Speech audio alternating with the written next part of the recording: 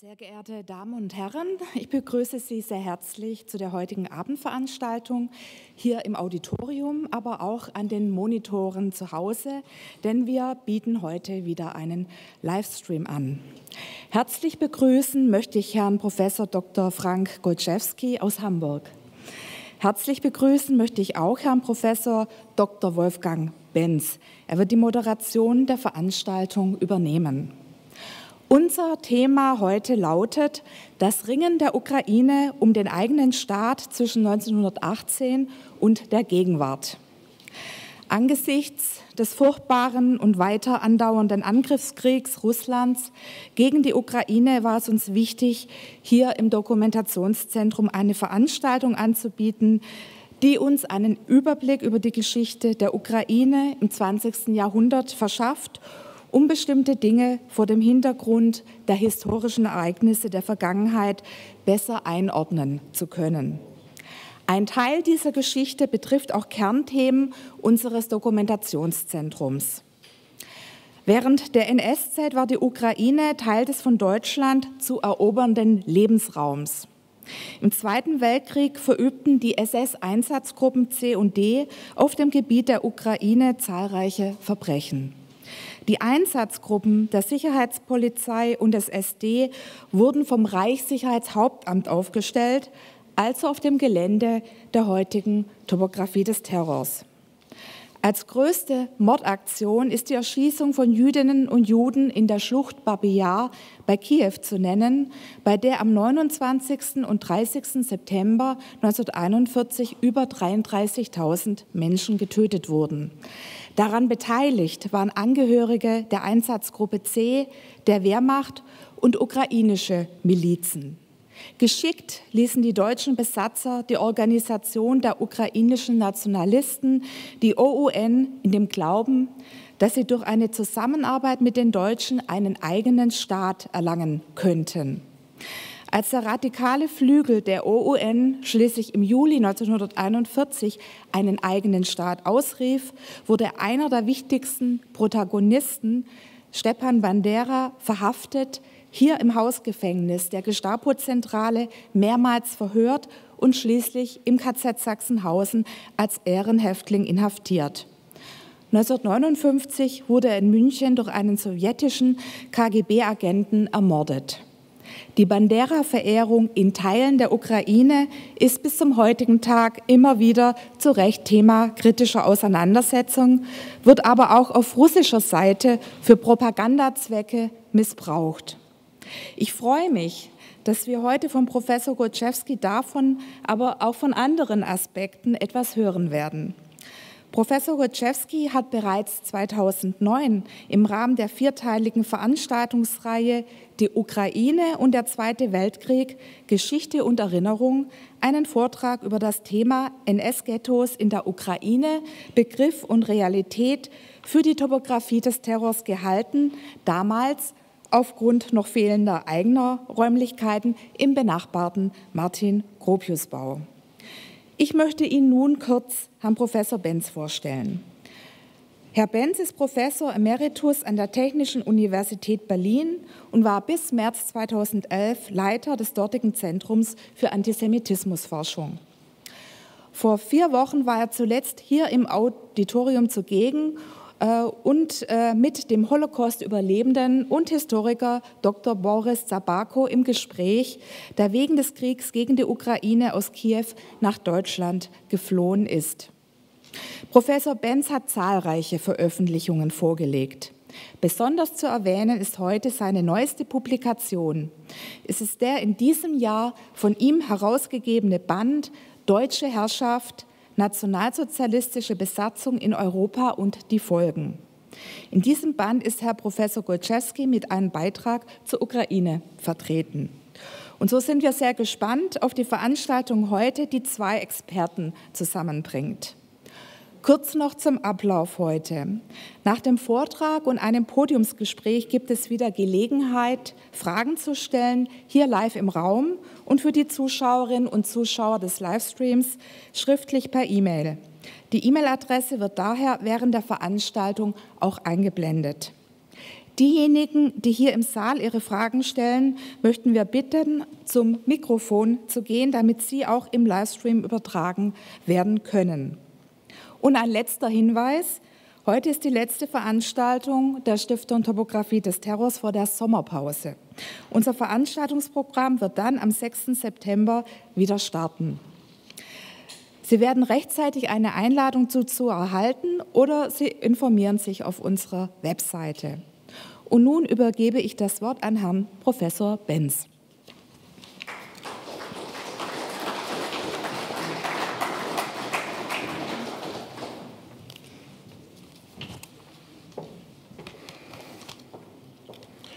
Einen schönen guten Abend.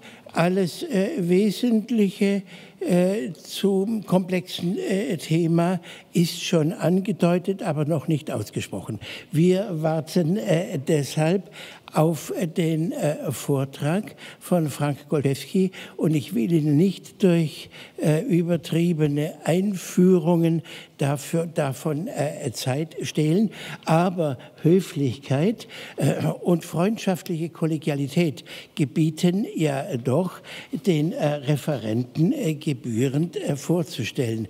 Frank Goldschewski ist der Experte auf historischem Gebiet für äh, die Ukraine. Dass er auch äh, Polen kann, das hat er schon ziemlich zu Beginn unserer Bekanntschaft äh, bewiesen, nämlich das äh, Kapitel Holocaust in Polen, die Zahl der jüdischen Opfer auf polnischem Territorium in dem schon inzwischen sagenhaften Band, der die sechs Millionen äh, untersucht hat, stammt Ende 1989 oder 1990 erschienen äh, von äh, Frank Golczewski. Es war sehr schwer, einen Bearbeiter für den Bereich Polen äh, zu finden. Dafür war er schon der Spezialist. Er hat sich dann mit, hat mit seiner Dissertation über das Deutschlandbild der Polen 1918 bis 1939 hervorgetan, hat am Ostkolleg der Bundeszentrale für politische Bildung in äh, Köln äh, gearbeitet.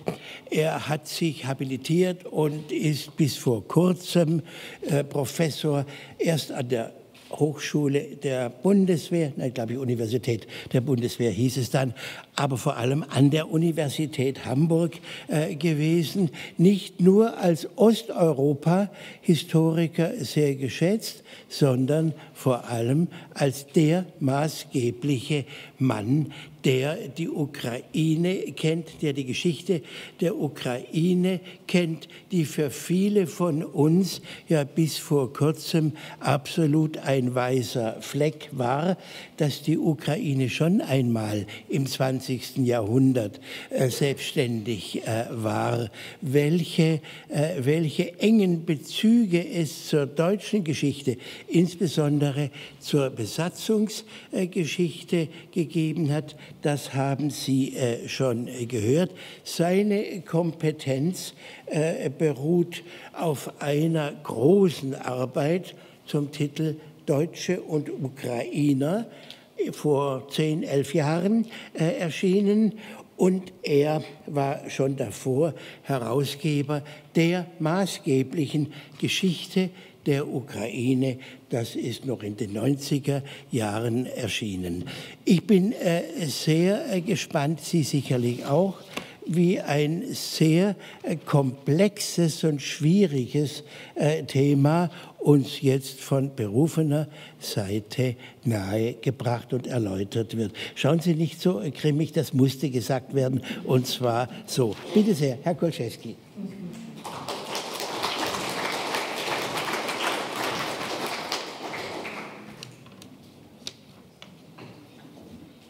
Dankeschön, Frau Wähler.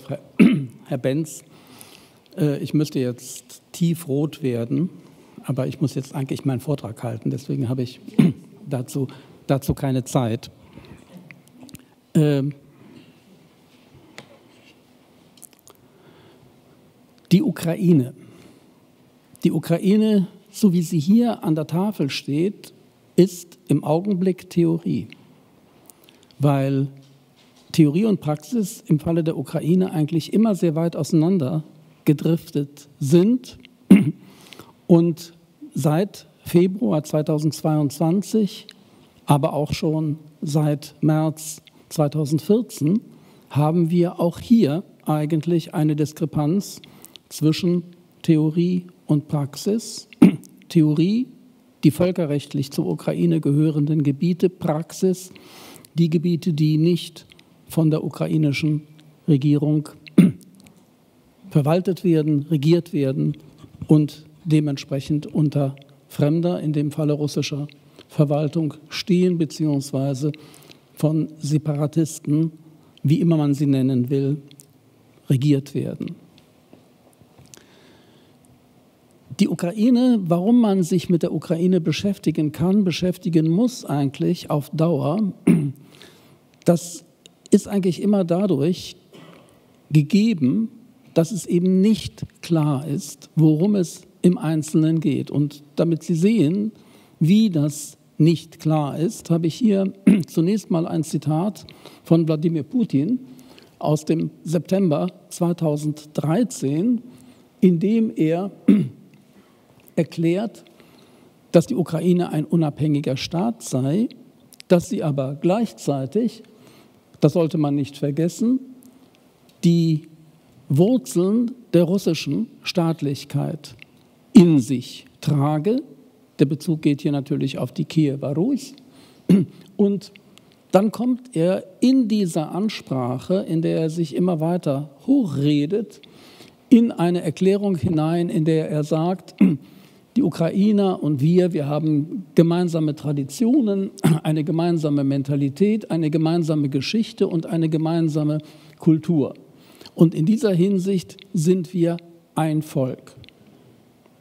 Das sind Originalzitate von Putin 2013, bevor es sozusagen an die Zerlegung der Ukraine ging. Und Sie sehen in diesem Text allein auf wenigen Zeilen, wie er sich widerspricht. Wie er auf der einen Seite sagt, ja, die sind unabhängig, auf der anderen Seite, sie sind eigentlich das gleiche Volk wie wir. Und wenn Sie wollen und wenn Historiker sind ja wahnsinnig schlau, weil sie im Nachhinein immer die Geschichte sich anschauen, dann können wir hier im Grunde schon sehen, dass es die Ankündigung ist, dass man hier etwas unternehmen wollte. Zeitgenössisch im September 2013 wäre wahrscheinlich noch niemand auf die Idee gekommen. Damit will ich mich hier eigentlich beschäftigen, damit will ich mich eigentlich hier befassen, um einmal zu diskutieren, was eigentlich die Problematik mit dem Ukraine-Begriff ist. Das, worauf sich Putin hier bezogen hat, ist die Kiewer Rus. Die Kiewer Rus sehen Sie hier in einer Idealdarstellung, so als ob sie tatsächlich feste Grenzen hätte. Ich will das aber jetzt nicht weiter thematisieren. Was eigentlich klar ist, ist, dass zu diesem Gebiet, von dem wir seit dem 9. Jahrhundert Informationen haben, die Ukraine gehört oder Teile der Ukraine, Weißrussland und die Gebiete, die wir heute als russisch bezeichnen würden. Das heißt, die Kiewer Rus ist in der Tat ein Gebiet, ein staatliches Gebilde, aus dem mehrere Staaten hervorgegangen sind. Wenn Sie wollen, zeitgleich, zeitgenössisch die Parallele zum Frankenreich Karls des Großen, zu dem Frankreich und das heutige Deutschland gehörte. Und wenn Sie jetzt entsprechende, das entsprechende Zitat von Putin hier anwenden wollen, dann hieße es eigentlich, Franzosen und Deutsche sind ein Volk, weil die waren im 9. Jahrhundert im Frankenreich zusammen. Sie sehen, auf welcher Ebene eigentlich hier diskutiert wird und ich hoffe, ich habe die Problematik Ihnen hier ein wenig verdeutlicht. Wie wird das in der russischen, im russischen Diskurs gezeigt? Selbst wenn Sie nicht Russisch können oder auch nicht altslawische Texte lesen können, sehen Sie, dass hier in diesem berühmten Zitat, in dem es um die Mutter der russischen Städte geht oder die Mutter der Ruß-Städte, äh, aus der Nestor-Chronik für das Jahr 882 oder 6390 russischer Zählung, dass es hier um die Ruß mit einem S geht. Das C, das kyrillische C ist das S. In der russischen Übersetzung, in der üblichen russischen Übersetzung, das ist hier eine Standardübersetzung, wird daraus Russisch mit zwei S, Ruski. Und das bezieht sich nicht auf die Ruсь, sondern bezieht sich auf Russland. Das heißt, Sie haben hier im Grunde genommen in dieser Übernahme der Texte eine Veränderung, die in Russland ganz üblich ist, nämlich dass auf die Ruß bezogene Texte für Russland in Anspruch genommen werden. Wir müssen uns jetzt damit beschäftigen, ob und warum eigentlich in Frage gestellt wird, dass die Ukraine ein eigener Staat ist. Das ist nicht auf Putin beschränkt. Wir haben das in sehr vielen Thesen unterschiedlicher Politiker bis hin zu Helmut Schmidt, der erklärt hat, dass die Ukraine ja eigentlich gar kein richtiger Staat sei, weil das sei ja gar keine richtige Nation. Woher er diese Kenntnis hat, weiß ich nicht, aber er hat es jedenfalls so seinerzeit gesagt. Wie ist nun diese These zu begründen oder wie ist diese These entstanden? Das, was wir im Laufe des zweiten Jahrtausends nach Christus sehen, ist, dass die Gebiete der Kiewer Ruch, die ich Ihnen eben gezeigt habe, ab dem 13. Jahrhundert auseinanderfallen und anderen Staaten mit anderen Kulturen angehören. Das ist zunächst einmal den meisten nicht wirklich bekannt, das Großfürstentum Litauen. Das Großfürstentum Litauen dehnt sich über die eigentlich litauischen Gebiete, die ethnisch-litauischen Gebiete, die das kleine Litauen von heute umfassen, im, 14., im 13. Jahrhundert aus und erfasst, wie Sie es hier sehen, im Grunde genommen das Gebiet bis fast zum Schwarzen Meer, also im Grunde die gesamte Ukraine. Sie wissen möglicherweise, dass sich das Großfürstentum Litauen vom 14. Jahrhundert an mit Polen vereinigt hat, zunächst in einer Personalunion, ab dem 16. Jahrhundert in einer Realunion und ab dem 16. Jahrhundert, ab 1569 in der sogenannten Union von Lublin, wurden die ukrainischen Gebiete, die zu Litauen gehörten, an die Krone Polen abgegeben. Diese Abgabe an die Krone Polen ergab andere neue kulturelle Einflüsse, kulturelle Einflüsse des Westens.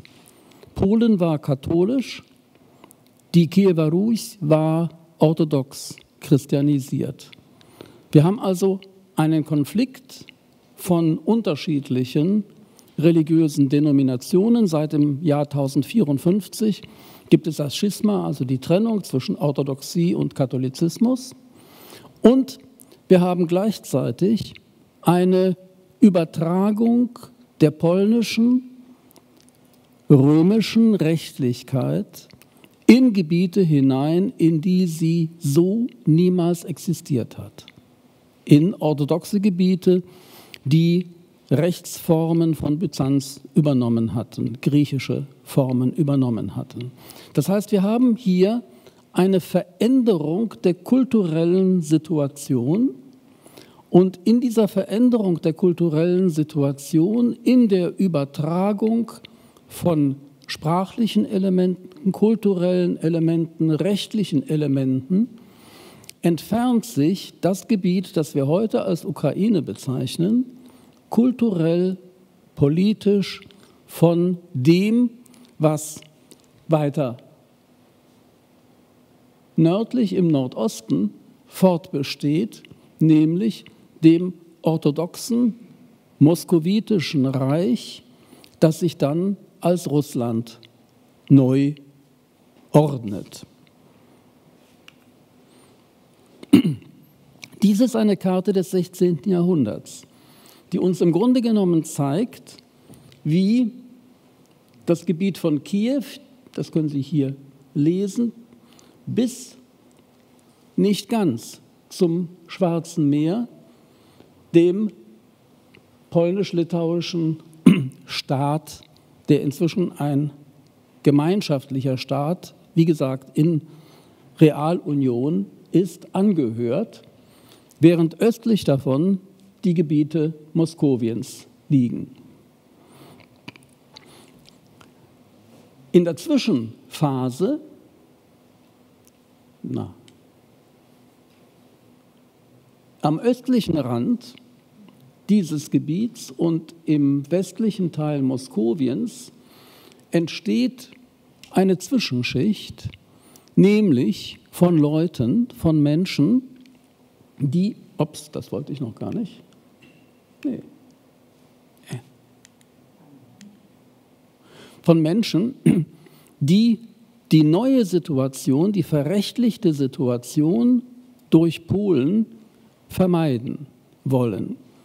Verrechtlicht hört sich jetzt wahnsinnig hochtrabend an.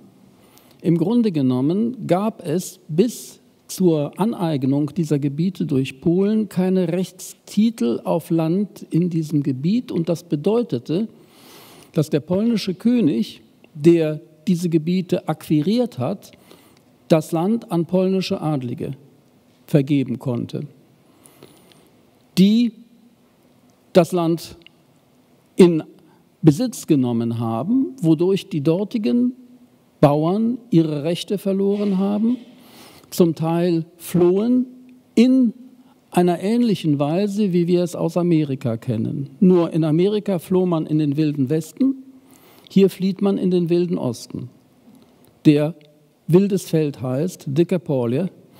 Und in diesem Feld sammeln sich diese Flüchtlinge nicht nur aus Polen, sondern auch aus Moskowien, auch aus dem Osmanischen Reich und nennen sich Freie. Und sie nennen sich türkisch Freie und das heißt Kasach. Es sind also die Kosaken, die auf die Art und Weise entstehen. Und die Kosaken stehen auf der einen Seite im Lohn verschiedener Herrscher, weil sie natürlich von etwas leben müssen und geraten gleichzeitig in Konflikte mit ihnen. Und einer dieser Konflikte bricht 1648 aus und in diesem Ausbruch des Konflikts unter einem Hetman Bogdan Chmelnytsky verbindet sich dieser mit seinen Kosaken, mit den unzufriedenen Bauern, die inzwischen ihre Freiheit verloren haben und gegen die Adligen vorgehen. Gegen die Adligen können sie aber gar nicht vorgehen, weil die Adligen gar nicht in diesem Gebiet leben. Denen gehört zwar das Land, sie lassen aber das Land durch ihre Verwalter verwalten. Und sie wählen als Verwalter sehr häufig Juden.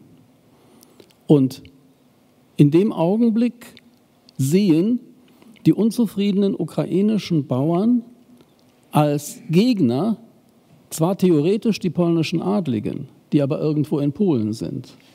Aber sie wenden sich gegen deren Vertreter vor Ort und das sind die Juden. Und deswegen haben wir 1648 die erste pogromartige Vernichtung von Juden, den Mord von Juden.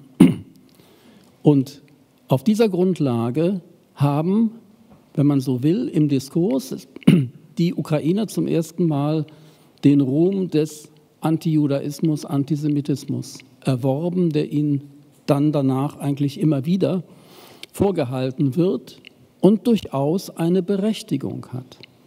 In dem Falle 1648 haben wir auf der einen Seite das religiöse Hintergrundrauschen, Christusmörder und so weiter und so fort, und wir haben auf der anderen Seite den ökonomischen Gegensatz. Und das führt dazu, dass ungefähr die Hälfte der dort lebenden Juden, ungefähr 20.000 nach den vorhandenen Berechnungen, ermordet werden. Wenn Sie sich diese Karte ansehen, sehen Sie aber, dass dieses polnisch-litauische Reich nicht ganz bis zum Schwarzen Meer reicht, sondern hier steht Osmanisches Reich, Khanat der Krim. Im 13. Jahrhundert sind die Mongolen mitsamt Tataren, und die haben sich dann vermischt, aus den Steppen Asiens nach Europa gezogen und haben einen großen Teil der Länder bis hin zu Liegnitz in ihre Verwaltung, in ihre Oberherrschaft genommen. Das Reich der Mongolen-Tataren ist dann zerfallen in verschiedene Reststaaten und derjenige, der sich am längsten gehalten hat, ist das Khanat der Krim und das hat sich deswegen am längsten gehalten, weil es sich in eine Vasalitätsabhängigkeit zum Osmanischen Reich hinein begeben hat. Das heißt, das Gebiet, das wir hier unten haben, gehört eigentlich zum Osmanischen Reich und ist dementsprechend das Khanat der Krim. Im 18. Jahrhundert erobert die deutschstämmige Zarin Katharina mit ihrem einmal Geliebten, aber in erster Linie eben halt Feldherrn und Gouverneur Potjomkin diese osmanischen Gebiete einschließlich der Krim. 1783 steigt nicht nur die Mongolfiere, sondern wird auch die Krim Teil Russlands. Und Katharina nennt dieses Gebiet Novorossia, Neurussland.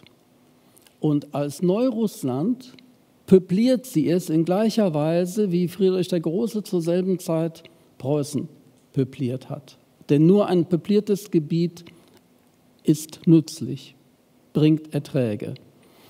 Und sie bringt alle möglichen Menschen dahin, die es, ich drücke das immer so aus, in dieser Zeit in Europa auf dem Markt gegeben hat. Serben, Griechen, Juden, Deutsche, Polen, Bulgaren, auch Ukrainer, auch Russen. Das heißt, wir haben hier ein ganz buntes Gebiet.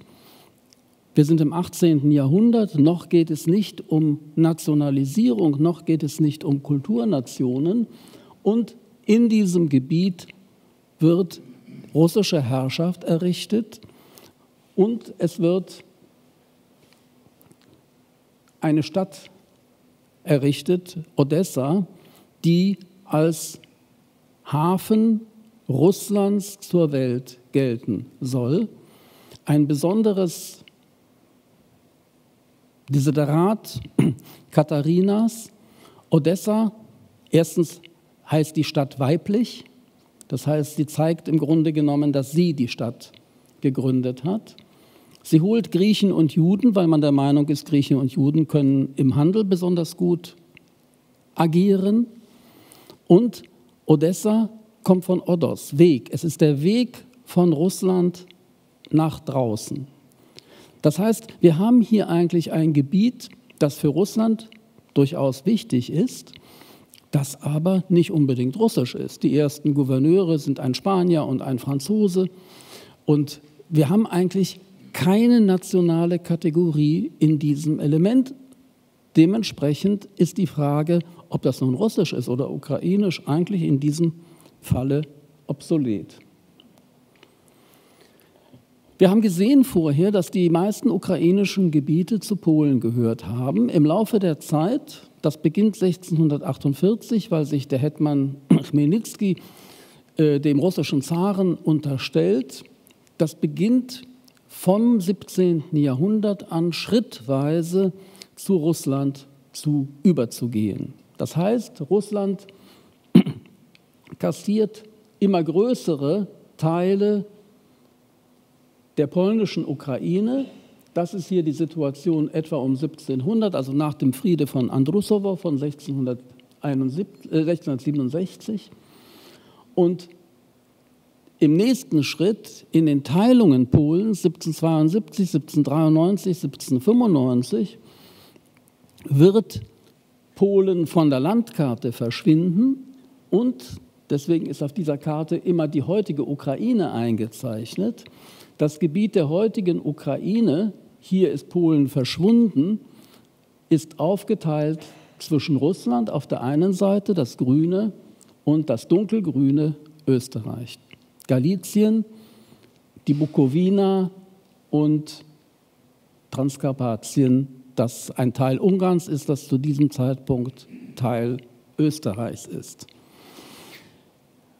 Das ist die Situation, hier steht 1900, das ist die Situation im Prinzip ab dem Ende des 18. Jahrhunderts und damit im 19. Jahrhundert und damit in der Zeit, in der wir normalerweise von in Anführungszeichen nationalem Erwachen sprechen.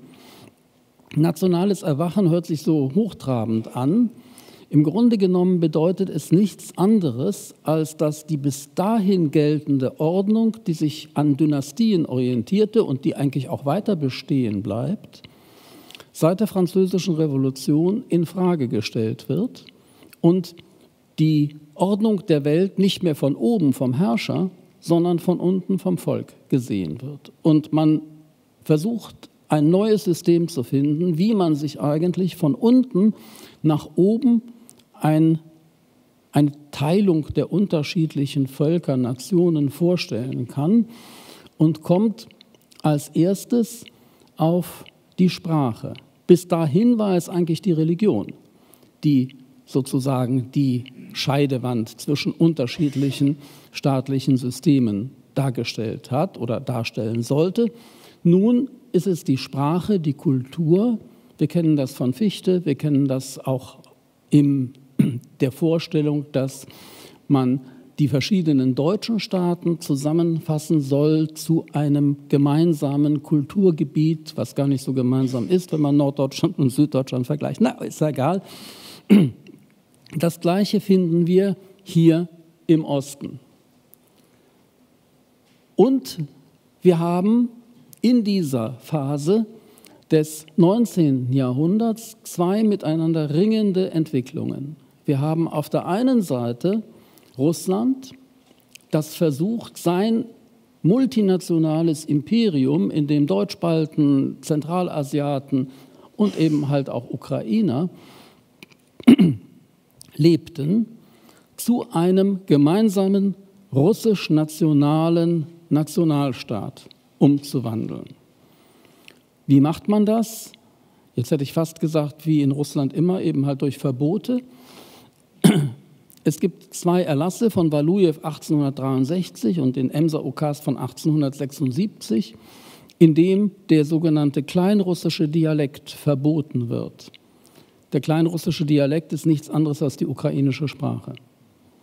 Das heißt, die gibt es, sie wird von Russland als Gefahr dezentral gesehen und sie wird verboten.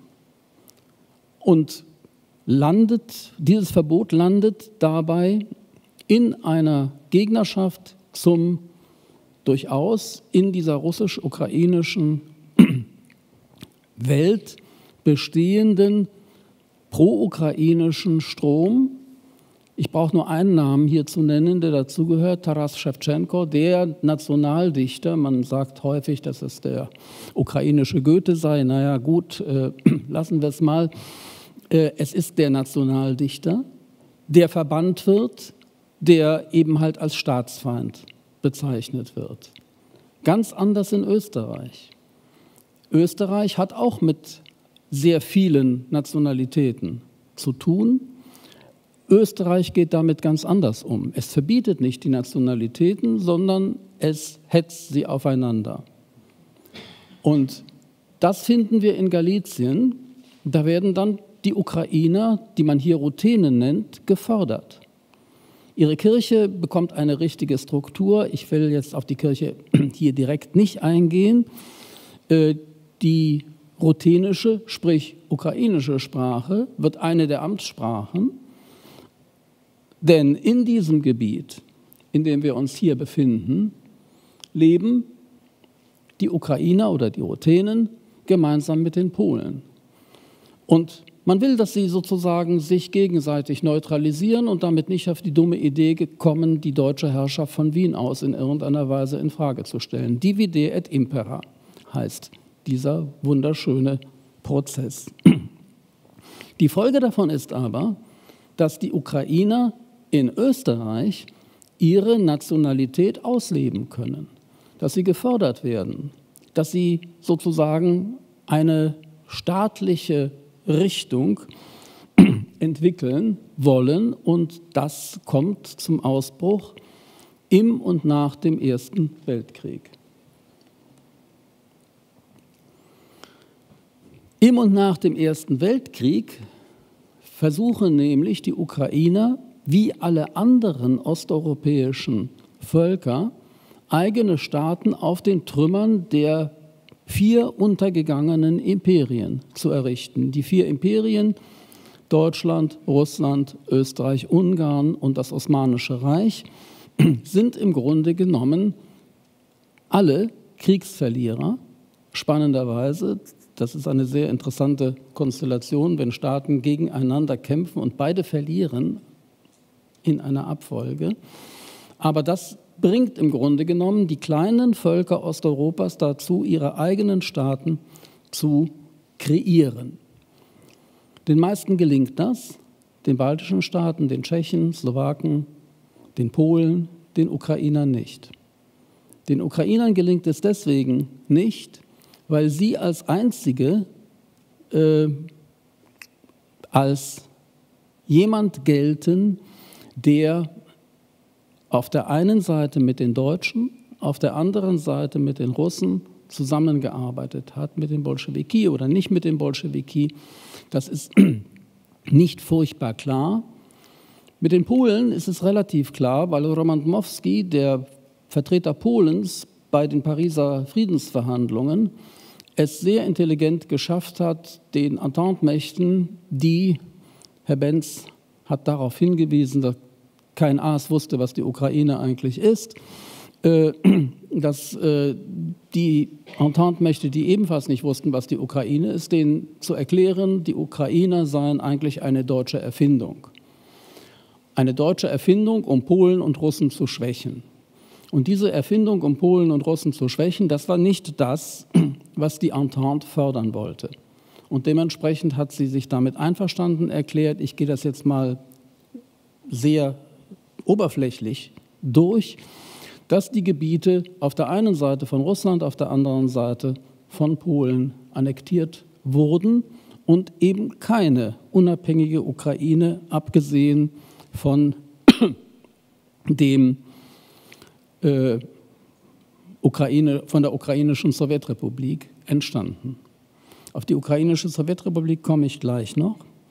Wir haben also die Lage nach dem Ersten Weltkrieg. Die Lage nach dem Ersten Weltkrieg, hier wieder ein Zitat von Putin aus diesem Jahr, aus der Ansprache, in der er die Separatisten anerkannt hat.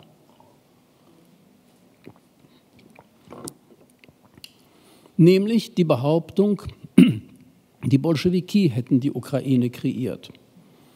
Und er sei ja auch gegen die Bolschewiki und deswegen sind sie im Grunde genommen, äh, müsste die Ukraine im Grunde genommen die Gebiete, die sie durch die Bolschewiki von Russland bekommen hat, abgeben. Ja, ganz falsch ist das nicht. Ganz falsch ist das nicht, denn was Sie hier sehen, sind Versuche der Bolschewiki auf dem Gebiet der heutigen Ukraine nicht ukrainische Staaten zu errichten. Das ist auf der einen Seite die Odessa, Sowjetrepublik und die Donetsk-Krivirok äh, Sowjetrepublik, die jeweils ungefähr sechs Wochen bis drei Monate bestanden haben, am Anfang des Jahres 1918, bis die Deutschen dieses Gebiet nach dem Brotfrieden besetzt haben.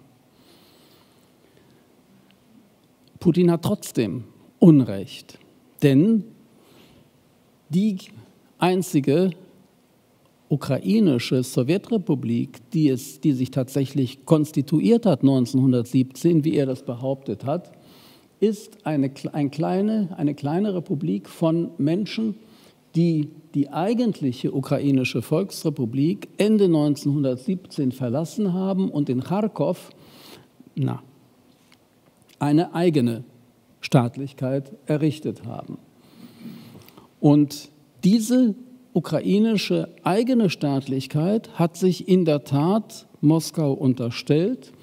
Und was Sie so etwas unübersichtlich auf der rechten Karte sehen, ist ein Schema des ersten russisch-ukrainischen Krieges von 1917-18, in dem die Bolschewiki versucht haben, die ukrainische Republik zu beseitigen und es fast geschafft hätten, wenn die Ukraine nicht am 9. Februar 1918 einen separat Friedensvertrag mit den Mittelmächten geschlossen hätte, daraufhin die Deutschen und die Österreicher ins Land gerufen hat und die Deutschen und die Österreicher die Bolschewiki vertrieben hätten. Das ist im Grunde etwas, was letztlich das falsifiziert, was Putin hier erklärt hat nämlich eine, wenn man so will, eigenständige ukrainische Republik. Aber diese Eigenständigkeit der ukrainischen Republik hat natürlich ihre Grenzen. Diese Grenzen hat sie hier auf dieser Karte, das ist eine Karte, die Roman Dmowski und die polnische Führung in Paris bei den Friedensverhandlungen vorgelegt haben nämlich die Gebiete, die sie eigentlich beanspruchen wollten. Und sie haben unterschiedliche Gebiete benannt, die will ich jetzt nicht äh, einzeln herausarbeiten, aber sie haben im Grunde genommen in, bei der Entente äh, den Eindruck erweckt, als ob die polnischen Ansprüche eben eigentlich legitim wären mit der Begründung, die Ukrainer seien ja eigentlich nur so ein Bauernvolk, das sich eigentlich gar nicht regieren könnte.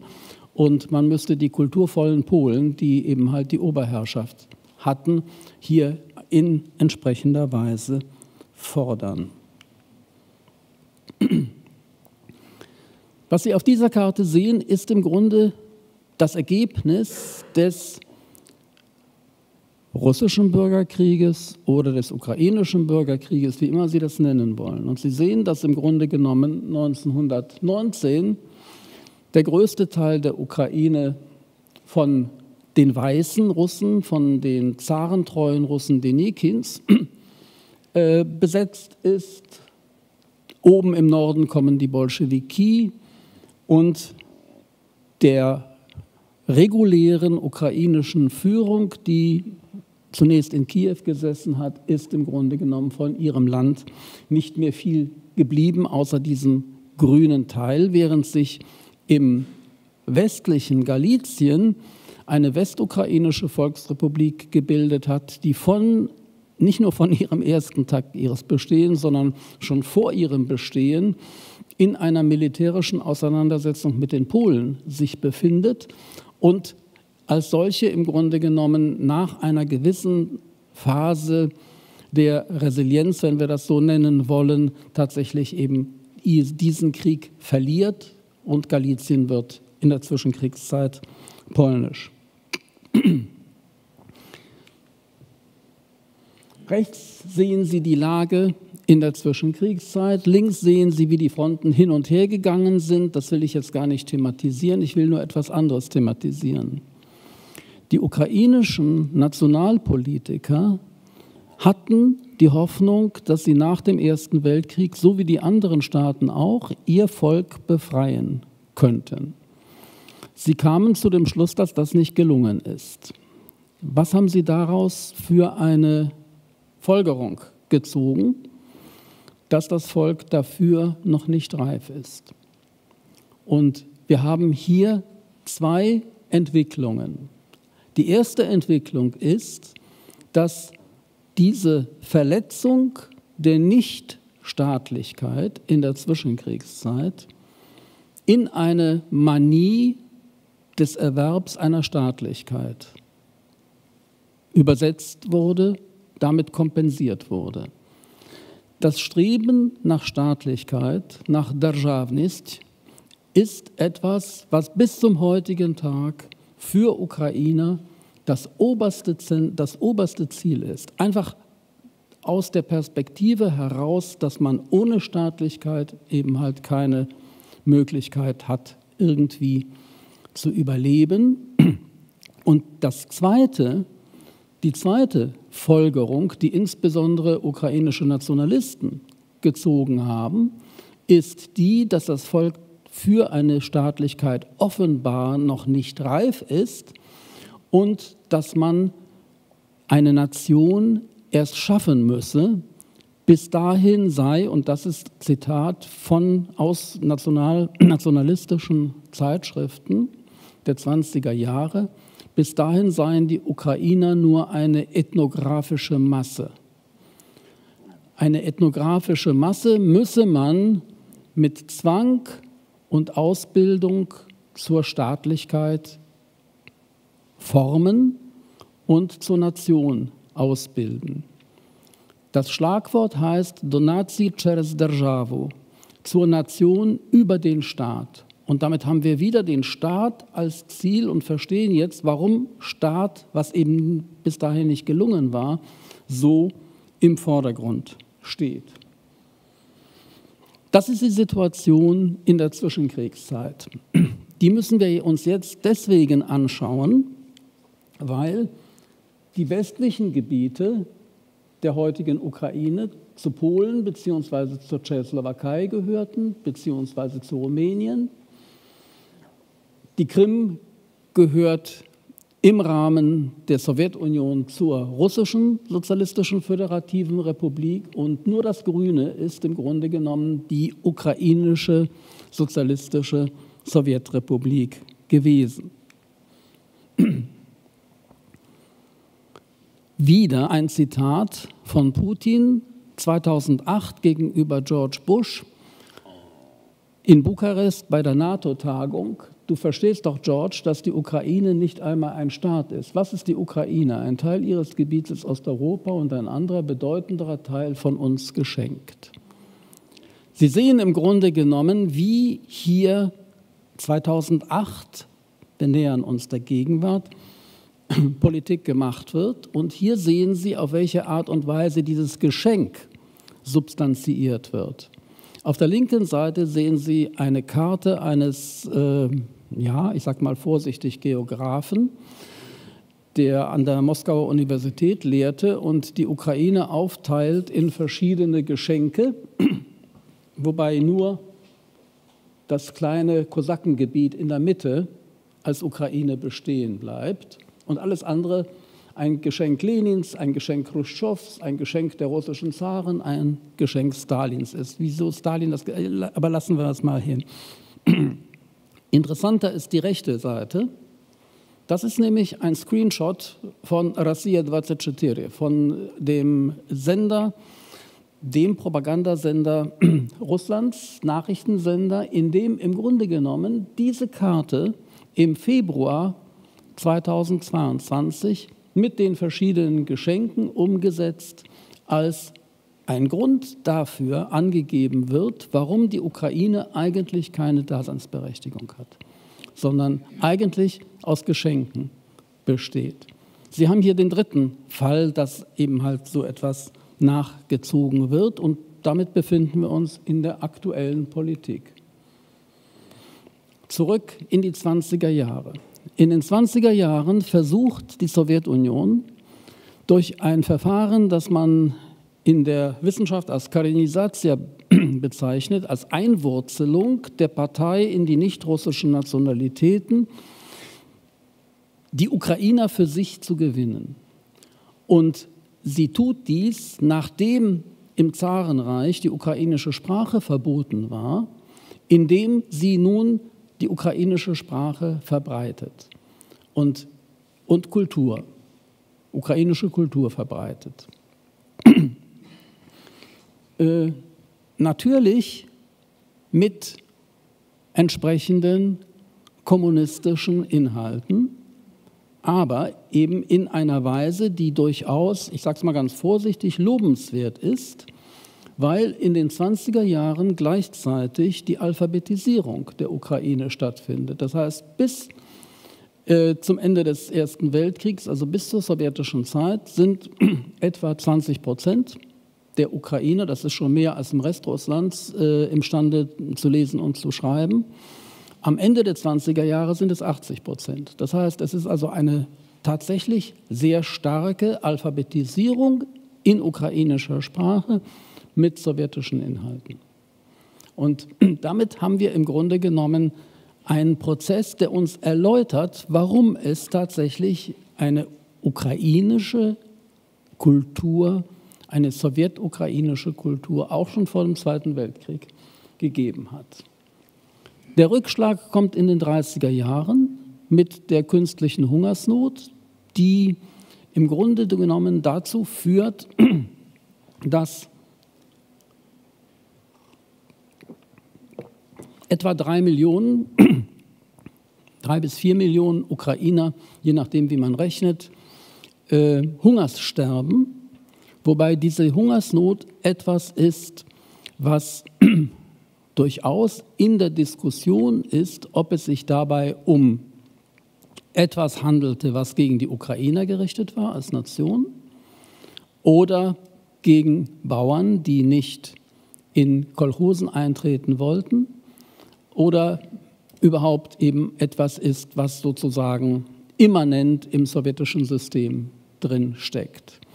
Der Punkt ist, dass es eben Hungertote in der gleichen Zeit auch in anderen Gebieten, auch in Russland, auch im Wolga-Gebiet, auch in Kasachstan, auch im Nordkaukasusgebiet gegeben hat. Nach 1991 kreiert die ukrainische neue Staatlichkeit aus, diesem, aus dieser künstlichen Hungersnot, die hier überhaupt nicht irgendwie verringert werden soll, ein Lieu de Mémoire, einen Erinnerungsort, ein Zentralisierungsort für die Geschichtsbetrachtung, wo man sich als Opfer und als Opfer der Sowjets, als Opfer der Russen betrachten soll. Und gleichzeitig eben halt die Nationalität hervorgehoben wird, weswegen das Ganze als Genozid bezeichnet wird und ausländische Staaten dazu aufgefordert werden, diesen, diese künstliche Hungersnot als Genozid anzuerkennen.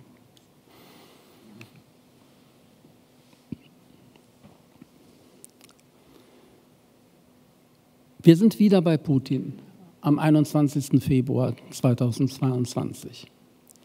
Er beschreibt im Grunde genommen die ukrainische Staatlichkeit von 1991. Er bringt sie aber in Zusammenhang mit dem, was in der Geschichte vorher stattgefunden hat und geht natürlich nicht darauf ein, dass wir in den 30er Jahren eine Re-Russifizierung der Ukraine haben und hier eben etwas anderes äh, herausgebildet werden soll, nämlich die Behauptung, dass eine ukrainische Staatlichkeit, eine ukrainische Eigenständigkeit auf der Verleugnung alles dessen aufgebaut werden soll, was uns verbindet. Also eine Trennung zwischen Ukrainern und Russen, dass es Gründe dafür gibt, das kalkuliert er hier nicht ein. Und er sagt gleichzeitig, dass in der ukrainischen Gesellschaft extremer Nationalismus aufkam, der rasch die Gestalt von aggressivem Russenhass und Neonazismus 2022 angenommen hat. Er hat nicht ganz Unrecht. Das muss man ganz deutlich sagen. Wir sind im Grunde genommen äh, sozusagen binär motiviert oder binär ausgerichtet. Wir sind immer der Meinung, wenn zwei miteinander kämpfen, dann ist A gut. Wenn A gut ist, muss B schlecht sein. Oder wenn A schlecht ist, muss B gut sein. Es kann durchaus sein, dass beide nicht ganz so doll sind. Und dass wir eben halt hier erkennen müssen, dass in der Tat nicht alles davon absolut falsch ist. Denn wir haben tatsächlich in der Geschichte der, des ukrainischen Nationalismus eine Ausrichtung, die durchaus in eine Zusammenarbeit mit den faschistischen Staaten hineingeführt hat. Ich sage ganz bewusst zunächst mal faschistisch, weil dies in den 20er Jahren beginnt und die entsprechende Formel oder die, das entsprechende Klischee, das hier umgesetzt werden kann, das faschistische Italien ist. Deutschland gibt es zu dieser Zeit noch nicht als in Anführungszeichen faschistische Macht und meines Erachtens ist die Bezeichnung Faschismus für Deutschland auch nicht richtig, sondern da sollte man bei Nationalsozialismus bleiben. Es gibt durchaus Gründe, warum das in der russischen Terminologie oder in der sowjetischen Terminologie nicht vorgekommen ist oder nicht vorkommt. Äh, der Punkt ist der, dass die National, ukrainischen Nationalisten in der Zwischenkriegszeit von der Entente enttäuscht worden sind. Die, der letzte Punkt dieser Enttäuschung, verraten durch die Polen, die eben halt den Rigaer Vertrag geschlossen haben 1921, ohne die Ukrainer hier zu berücksichtigen, indem sie die Sowjetukraine anerkannt haben. Die Franzosen, indem sie den Mörder von Petlura, der einer der Führer der ukrainischen Volksrepublik gewesen ist, freigesprochen haben, indem sie ihn für die Pogrome verantwortlich gemacht haben. Alles das hat dazu geführt, dass im Grunde genommen aus der Perspektive der ukrainischen Nationalisten nur noch wenige mögliche Unterstützer übrig blieben. Das war das faschistische Italien, das war Deutschland, weil es gegen Polen war und in Polen eben halt die Ukrainer unterdrückt wurden und das war Litauen, weil Litauen auch Gegner Polens war und damit der Feind meines Feindes ist mein Freund. Dies so funktioniert hat.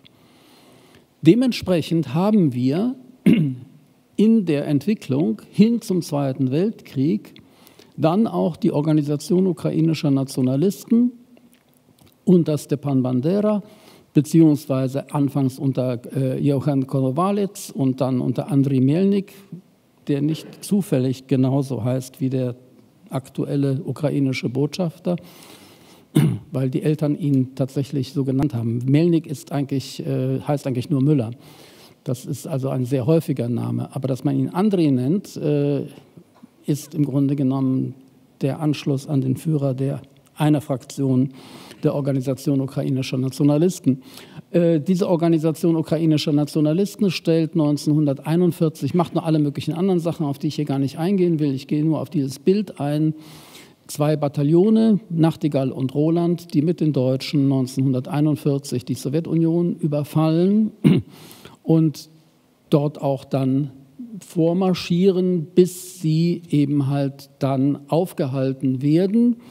Aufgehalten werden, das ist hier schon angesprochen worden, dadurch, dass die Staatsgründung, der Versuch der Staatsgründung am 30. Juni 1941 in Lemberg durch Jaroslav Stetko durch die Deutschen nach einer gewissen Zeit der Überlegung verhindert wird und die Leute dann eben halt ins KZ kommen, aber eben ins KZ als ehrenhaft. Das ist ja auch hier gesagt worden. Wir haben unten die ukrainische Aufständischen Armee. Diese ukrainische Aufständischen Armee wird 1943 aufgestellt und sie agiert in Volynien in erster Linie und dann 1944 auch in Galizien und versucht, gestellt in erster Linie von Angehörigen der Organisation ukrainischer Nationalisten, dort die, dieses polnisch-ukrainische Mischgebiet zu entmischen, zu homogenisieren, indem man die Polen umbringt. Und äh, die Zahlen will ich jetzt hier gar nicht ansprechen, weil es da auch unterschiedliche Interpretationen gibt. Aber der Versuch ist im Grunde genommen da, hier daraus ukrainisches Land zu machen und es dann eben halt nach dem Krieg, man hoffte dann auch die Sowjetunion zu, zu besiegen, gemeinsam mit den Deutschen nebenbei zeitweise 1944 äh, entsprechend hier so vorzugehen. Das ist das, was eben schon von Ihnen angesprochen worden ist. Das ist die, äh, unten rechts sehen Sie ein Foto der Ausrufung dieses, dieser ukrainska Država, des ukrainischen Staates, am 30. Juni 1941 durch Jaroslav Stichko und oben eine unter deutscher Besetzung herausgegebene Zeitung, in der das, diese Proklamation abgedruckt wird, in der man sich zum Bündnis mit Adolf Hitler und dem großdeutschen Heer äh, bezieht. Also das gibt es. Es gibt auch die Beteiligung an oder die Organisation von Pogromen in Lemberg 1941 und es gibt 1943 die Gründung der SS Galizien, äh, nachdem es anfangs geheißen hat, Ukrainer sollten keine Waffen tragen, aber nach Stalingrad spielt das eigentlich keine Rolle mehr. Und das Interessante dabei ist nur, dass sich erheblich mehr Ukrainer in diese SS Galizien melden, als man eigentlich aufnehmen kann und im Endeffekt dann tatsächlich aufnimmt.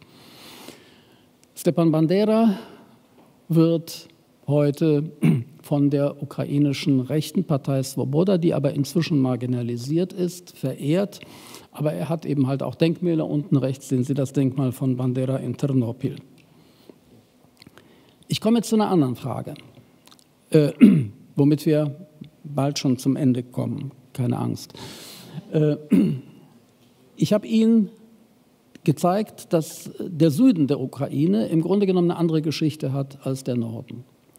Und spannenderweise sehen Sie eigentlich dieses Ergebnis auch beim Ergebnis der Präsidentschaftswahlen bis 2010 eigentlich sehr gut abgebildet. Auf der rechten Seite das ist die Stichwahl zwischen Julia Timoschenko, die sicherlich den meisten ein Begriff ist, die äh, für eine vorsichtig ausgedrückt äh, liberal-demokratische Ausrichtung ist und äh, gegen Janukowitsch, den Vertreter des ukrainischen Ostens, der abgesehen davon, dass er eine kleinkriminelle Vergangenheit hat, eben äh, eigentlich ein Anhänger einer eher pro-russischen. Ich bin ganz vorsichtig, weil er ist nicht so, er ist auch gar nicht von, von Putin so geschätzt, wie man das äh, in dieser binären Richtung dann wieder sehen will. Aber das Spannende ist, was man da sehen kann, ist, dass es unterschiedliche Parteien gibt und dass seine Partei, die blaue Partei,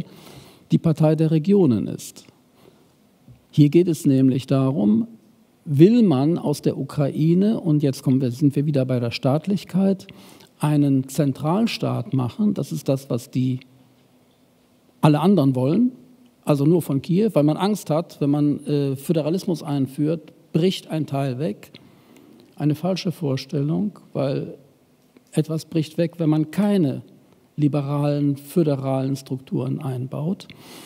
Die Partei der Region will genau das machen. Sie will nicht etwa den Anschluss dieser Gebiete an Russland sondern sie will im Grunde genommen in diesen Gebieten Russisch als zweite Amtssprache einführen und das versucht Kiew zu verhindern.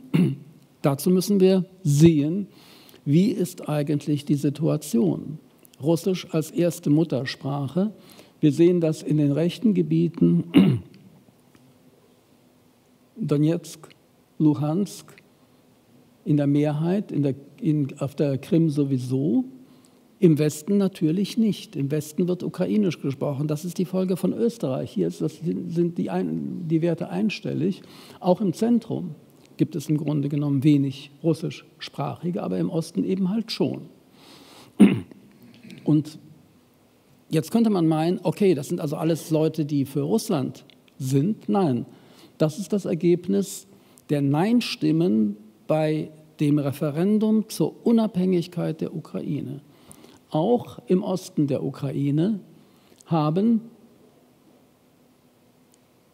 über 80 Prozent für die Unabhängigkeit der Ukraine gestimmt.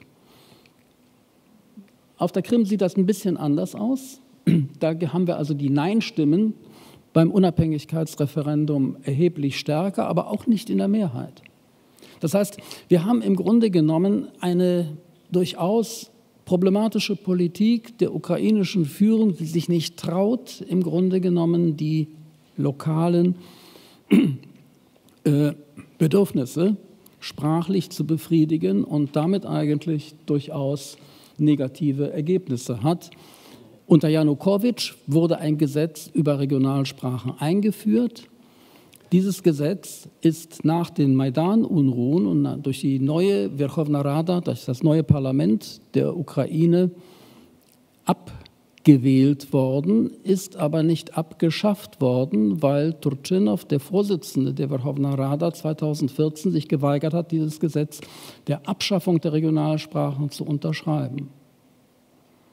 Nur 2018 ist tatsächlich, sind die Regionalsprachen tatsächlich abgeschafft worden.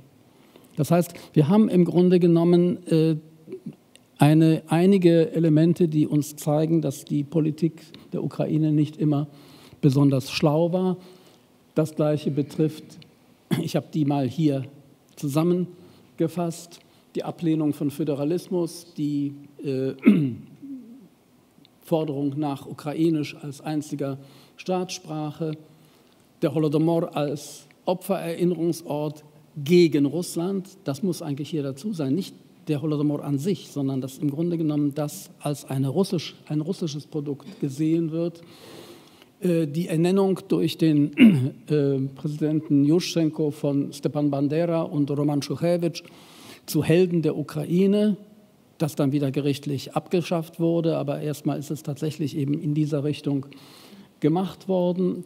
Das Dekommunisierungsgesetz von 2015, was im Grunde genommen jegliche kommunistische Symbolik verbietet und damit die Symbolik des großen Vaterländischen Krieges, also des Zweiten Weltkriegs, und in diesem Krieg dann nur noch die pro-nationalsozialistischen Richtungen fördert und am 9. April 2015 ein Gesetz zur Ehrung der Kämpfer für die Unabhängigkeit, in dem diese gelistet werden. Und dazu gehören dann die reine Terrororganisation UVO, dazu gehört die Organisation ukrainischer Nationalisten. Und dazu gehört die ukrainische Aufständischen Armee, über die ich eben gesprochen habe, die also von der aktuellen, nicht von der aktuellen, von der Poroschenko-Führung äh, der Ukraine als zu Ehrende gesetzlich festgesetzt werden mit einer Strafbewährung für den Fall, dass das nicht passiert.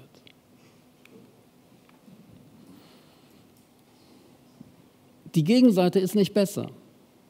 Wir haben hier äh, aus der russischen Perspektive die Vorstellung des Ruski Mir, der russischen Welt, diesmal nicht von äh, Wladimir Putin, sondern vom Patriarchen Kirill der russisch-orthodoxen Kirche, der eben erklärt, dass äh, die russische Zivilisation eine besondere Zivilisation sei, zu der Menschen gehören, die sich heute mit verschiedenen Namen bezeichnen, Russen, Ukrainer, Weißrussen.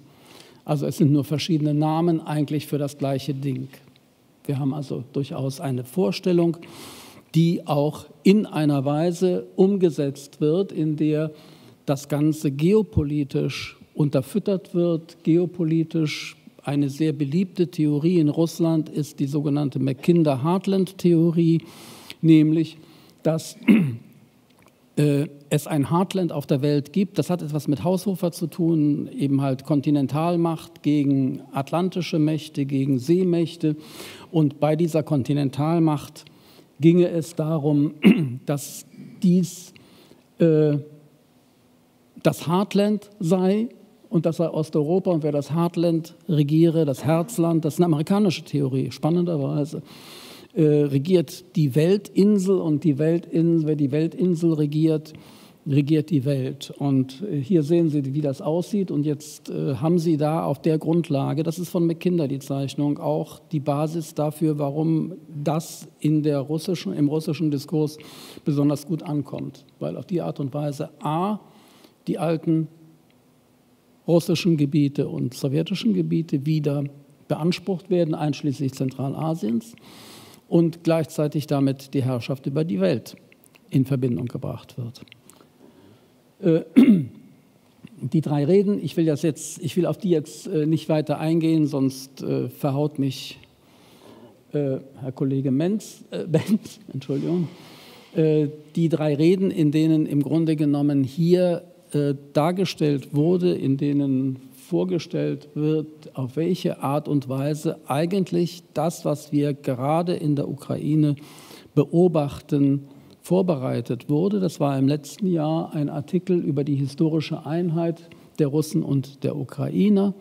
Das ist die Rede zur Anerkennung der äh, sogenannten Volksrepubliken von Luhansk und Donetsk. Und das ist, äh, wenn man so will, die Kriegserklärung am Morgen des 24. Februars 2022.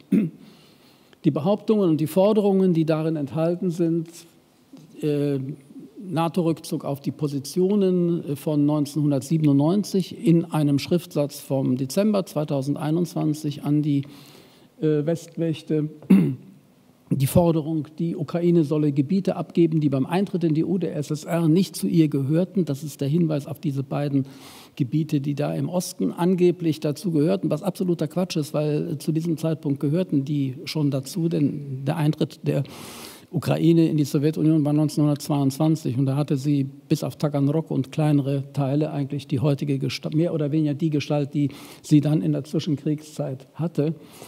Und wenn man jetzt diese Forderung von Putin umsetzt, dann müsste Russland eigentlich auch äh, Kaliningrad, also Königsberg, abgeben und Viborg, was 1939 von Finnland erobert worden ist. Also äh, die Forderung, Behauptung, die Ukraine besitze keine stabile Staatlichkeit, sie sei eine westliche Kolonie mit einem Marionettenregime. Die Faschisten organisierten rein dekorative Wahlprozeduren. Äh, das ist das haltet den Dieb-Motiv, weil das kann man von der Ukraine nun wirklich nicht sagen mit den verschiedenen Machtwechseln, die da stattgefunden haben. Von Russland kann man es ohne weiteres behaupten, weil da wird die Opposition vorher ausgeschaltet und nicht zu den Wahlen zugelassen. Und dann haben wir genau das, was Putin hier beschreibt, nämlich die rein dekorativen Wahlprozeduren. Bitte?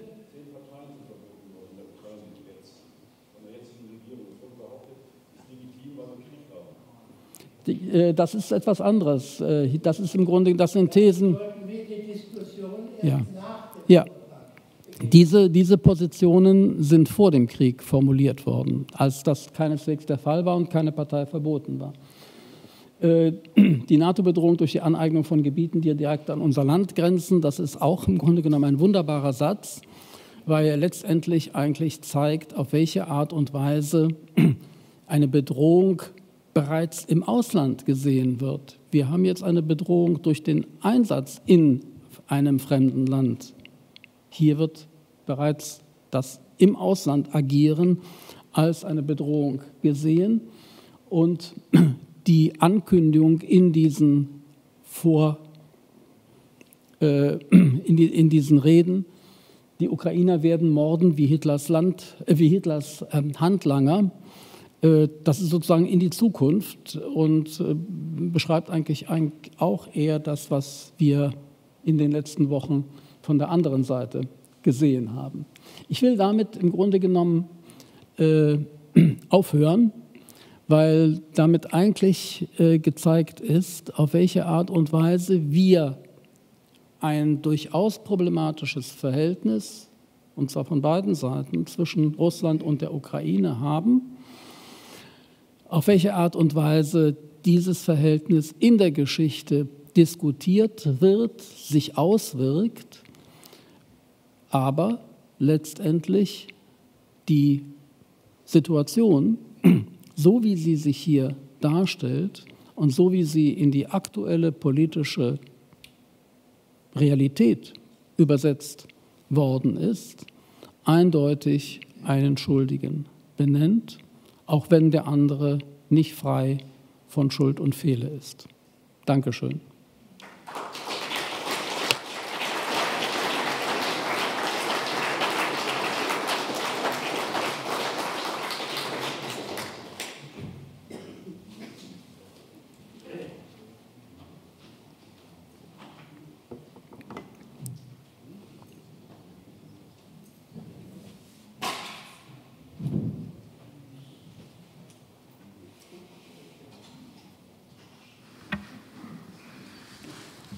Nach diesem atemberaubenden äh, Kolleg über die Geschichte der Ukraine haben wir vor allem, äh, glaube ich, äh, eines äh, verstanden. Die Ukraine ist seit Jahrhunderten die klassische Opfernation oder eine klassische Opfernation, um ihre Unabhängigkeit ringend, aber immer wieder von allen äh, möglichen äh, Parteien, von allen möglichen Akteuren äh, bitter enttäuscht. Wir sollten jetzt äh, der Versuchung äh, widerstehen, uns in der Diskussion über äh, Putin-Zitate, das, das, das, wie falsch oder wie richtig die sind. Wir sollten uns dessen vollkommen entraten, glaube ich. Wir haben mehr davon, wenn wir die Gelegenheit benutzen und äh, uns äh, informieren, was ist die Ukraine eigentlich? Wie, äh, wie ist dieser äh, Staat äh, beschaffen? Wenn ich an, den, an das Zitat des Patriarchen Kyrill denke von der russischen Zivilisation, er hat eigentlich überhaupt nichts gesagt. Das ist nur ein Herrschafts- Anspruch. Alle Menschen äh, können äh, da kommen, wenn sie sich nur in eine bestimmte Zivilisation äh, einfügen. Ich glaube, mit solchen, äh, mit solchen äh, Formeln kommen wir nicht, nicht sehr weit. Das, da lohnt auch die einzelne Exegese nicht so schrecklich. Ich würde doch jetzt gerne von Ihnen äh, noch einmal ganz knapp und, äh, und knackig äh, wissen, wie westlich ist die Ukraine im Verhältnis äh, zu äh, Russland? Wie kulturell eigenständig ist äh, die Ukraine? Wie demokratienahe ist sie?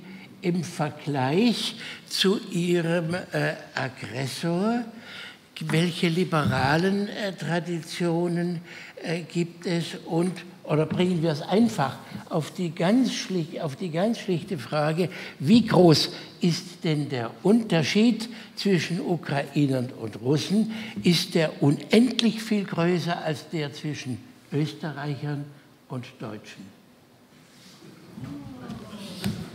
Ja, die Sprache ist ja auch, auch äh, relativ, relativ ähnlich. Äh, die kulturellen äh, Traditionen reichen über äh, Jahrhunderte äh, zurück, aber es sind äh, zwei Staaten, die keine Ansprüche gegeneinander erheben. Aber die Grundfrage, wie, wie westlich ist die durch polnische, durch litauische, durch österreichische Traditionen geformte Ukraine im Verhältnis zu Russland? Das ist relativ schwierig zu beantworten. Sie sollen es trotzdem aber oder, kurz machen. Äh, oder leicht. Beides. Ähm, westlich, wenn man will, wenn man äh, von äußeren Erscheinungen spricht, kann man sagen, soweit die unierte Kirche reicht, die unierte Kirche ist die Orthodoxie, aber der päpstlichen Jurisdiktion unterstellt. In der Union von Brest 1596. Und äh, das ist etwas, äh, wo man sagen kann, ist das jetzt westlich? Es ist ein politischer Akt gewesen im 16. Jahrhundert. Es ist kein Akt, der in irgendeiner Weise, äh, ja, ich sag mal vorsichtig, von den Gläubigen besondere Anstrengungen erforderte, weil man eigentlich in dem Ritual blieb, in dem man vorher auch war. Ähm, wenn man will, kann man sagen, im Westen gibt es eine stärkere Politisierung durch Österreich bereits im 19. Jahrhundert. Es gibt äh, eine stärkere Nationalisierung und Michailo Chruschewski, der Historiker, der aus Kiew den ersten Lehrstuhl für ukrainische Geschichte in Lemberg erhalten hat, hat die These aufgestellt, dass die Ukrainer ein durch und durch demokratisches Volk seien, während die Russen, dadurch, dass sie so lange unter den Mongolen Tataren gelebt hätten, ein despotisches Volk geworden seien. Äh, wenn man will, kann man das finden.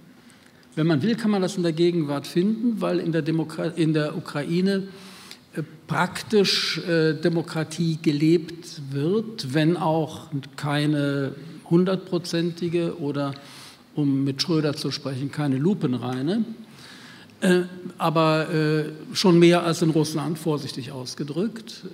Und in Russland, was wir im Augenblick sehen, ist eigentlich eine Rückkehr in eine absolute Informationsmonokultur und in eine absolute Politikmonokultur, also tatsächlich in eine Art Despotismus. Äh, wo ich mich schwer tue, ist das unbedingt jetzt westlich zu nennen, denn ich bin auch durchaus imstande zu sagen, ja, die OUN ist tatsächlich westlich, weil Mussolini war ziemlich westlich. Und äh, ich halte eigentlich diesen Begriff westlich nicht unbedingt für einen furchtbar positiven gegenüber östlich, äh, sondern das ist im Grunde genommen nur etwas, was durch äh, Europa, Union, äh, Romantik äh, befördert wird, äh, wenn wir sehen, dass das in Polen mit den verschiedenen Reformen und in Ungarn, sehr katholischen Ländern, eben halt durchaus nicht eindeutig ist, dann habe ich damit Schwierigkeiten. Sie sehen jetzt, man kann es entweder leicht machen oder man kann es schwer machen. Man kommt aber nicht unbedingt zu einem richtig guten Ergebnis. Nur etwas, was Sie noch gesagt haben, Ukrainisch und Russisch sind zwei verschiedene Sprachen.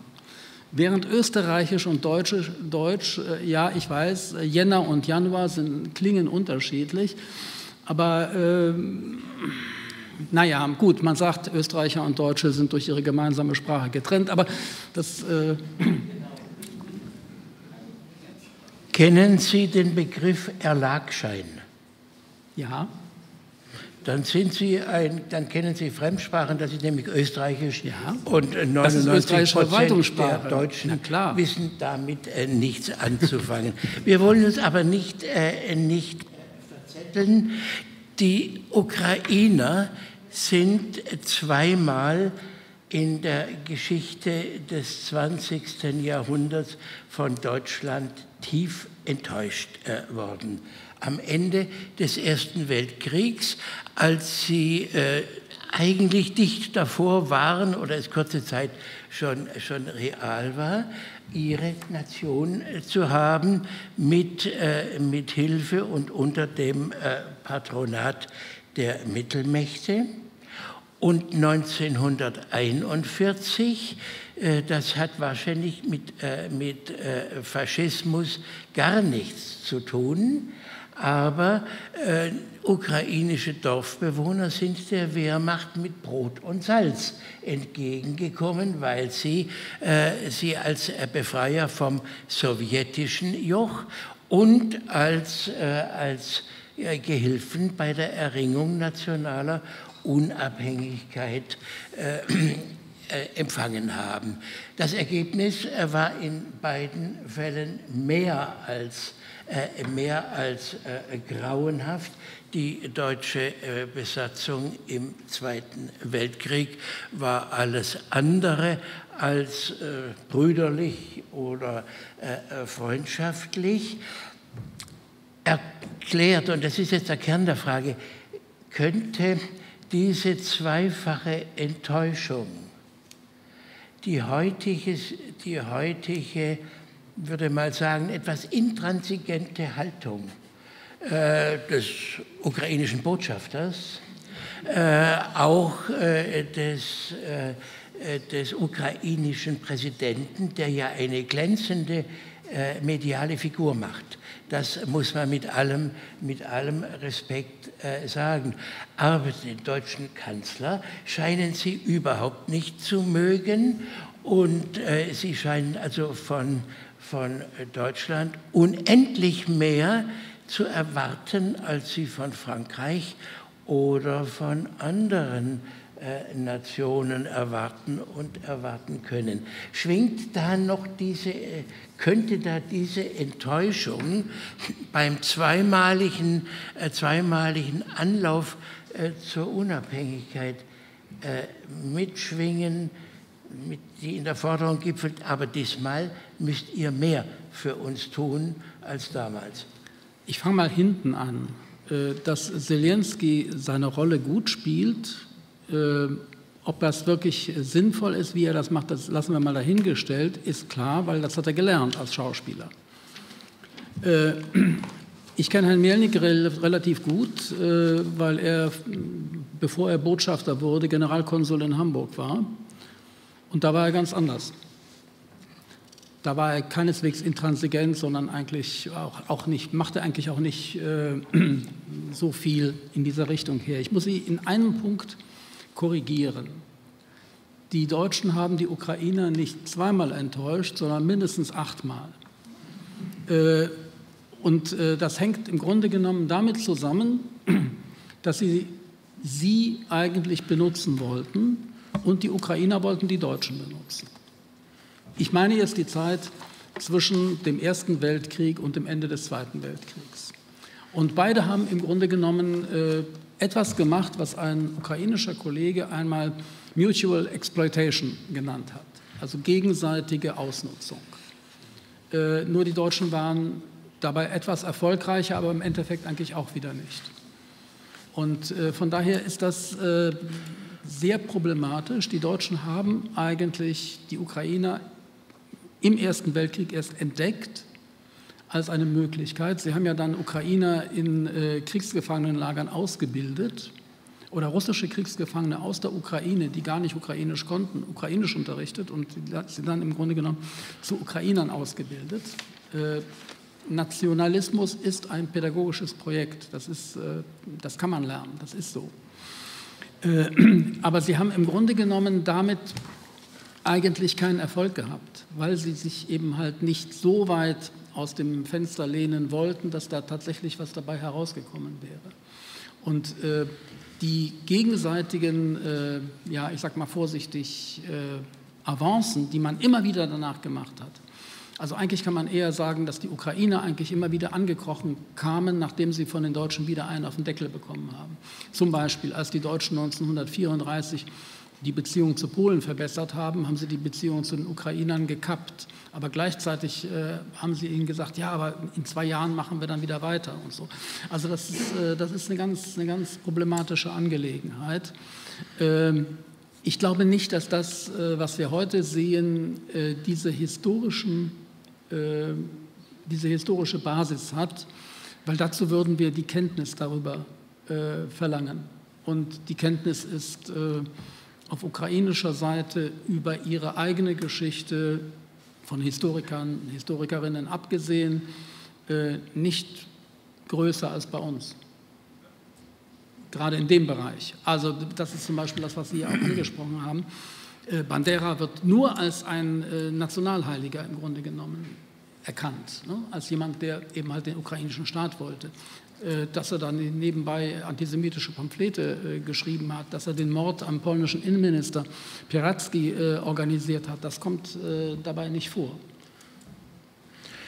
Und das ist jetzt sozusagen die letzte, die letzte Andeutung, ehe Sie die Gelegenheit haben sollen, mit Herrn Golczewski ins Gespräch zu kommen. Sie haben freundlicherweise und richtigerweise und notwendigerweise natürlich von den Judenpogromen äh, gesprochen. Äh, Sie haben, äh, Sie haben den Antisemitismus, der in der, äh, in der Ukraine äh, äußerst äh, aggressiv, ich sage mal, war, ist erwähnt.